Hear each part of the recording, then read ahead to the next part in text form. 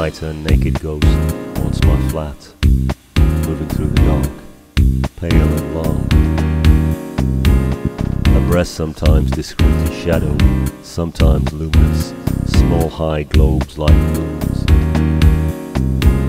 I shiver under blankets, she doesn't feel the cold. Ghosts don't, they merely cause it, or so I'm told by unreliable sources. And anyway, perhaps it's still summer where she is.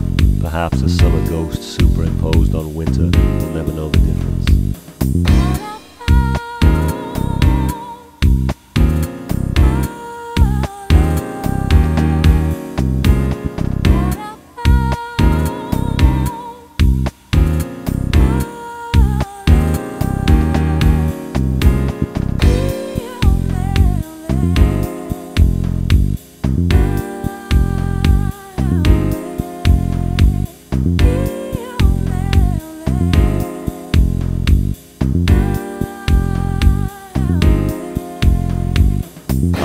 Outside.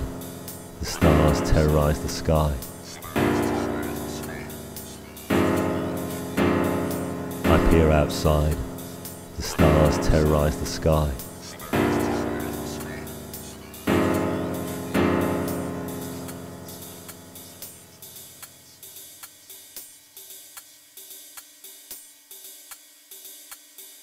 I dream of snow, but when I go to look, it's a bug's graveyard powdery piles, they've turned white.